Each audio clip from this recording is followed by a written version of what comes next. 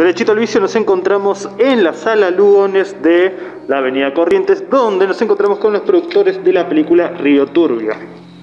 Una película realizada por Tatiana Mazu González que va a estar proyectándose. ¿Qué día se va a estar proyectando? A partir del jueves 29 hasta el domingo van a ser funciones en la sala Lugones a las 21 horas y después del domingo de lunes a miércoles al miércoles 5 a las 18 horas. La película, ¿cuánto tiempo tuvo de producción? Es una pregunta difícil porque viste que los proyectos tienen acumulándose larga data.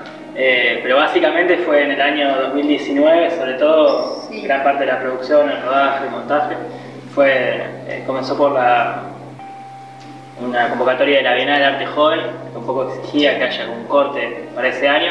Pero bueno, la película se terminó al año siguiente, en 2020, en el Festival Film Marseille.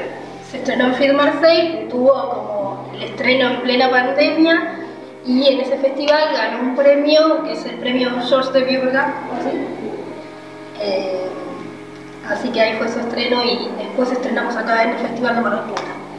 ¿La película tenía planeado estrenarse este año o tuvo alguna especie de ralentización por la pandemia? No, no necesariamente, como la película primero tuvo un recorrido por festivales, este, también se pasó en algunas otras salas del país y bueno, y esto es como el estreno comercial que nada se completa después de todo este recorrido. Ya es el último puente con el público directamente. Así es. Sí. Y- Y además de esta sala, perdón, además No. de esta sala se va a estar estrenando en Córdoba y también va a estar en la Semana del Cine en Salta durante el mes de octubre. ¿La película puede definirse como un film de género directamente o tiene otro tipo de eh, catálogo? No sé, para mí no se llega muy bien con las categorías, porque podría ser una película de no ficción si se quiere, a vez tiene cosas de ciencia ficción que nosotros le pusimos para, no sé, para divertirnos un poco a la hora de contar eh, películas sobre lo real, es un cine sobre lo real si se quiere, pero tiene tejido como una propuesta, qué sé yo, como más de, de diferentes índoles. Tiene cierto sentido de extrañamiento al principio y al final de la película. ¿Tomaron alguna referencia de otro film? Sí, la verdad es que sí y no.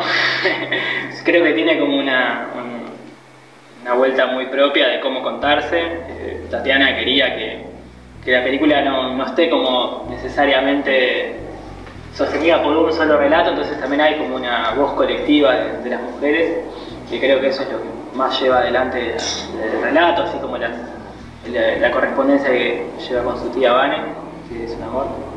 Eh, y bueno, nos tomamos un poco de referencias de películas de ciencia ficción, por ejemplo como La Niebla, no sé, eh, diferentes cosas que, que a nosotros nos servían también para instalar esta idea de, bueno, la, la mina como lugar eh, oculto para las mujeres, lugar que destruye los cuerpos, el territorio. Hay ahí como un halo que sí de extrañamiento si se quiere, pero también de buscarle cómo, cómo se le puede dar un, un- una, una explosión, ¿eh? saber cómo se puede transformar. Que entonces sí es eso, es, lo, si se quiere, lo del final, eh, como, como pasar por arriba de esas, esos lugares tan tormentosos y, y extraños que vivimos.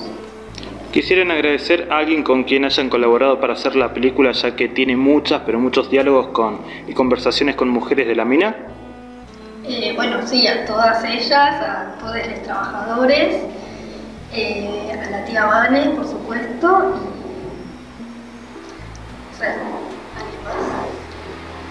Bueno, a Tatiana que no está ahora. eh, Bueno, eso sería todo. Muchísimas gracias y éxitos en el estreno entonces. Bueno, muchas gracias. Gracias a vos.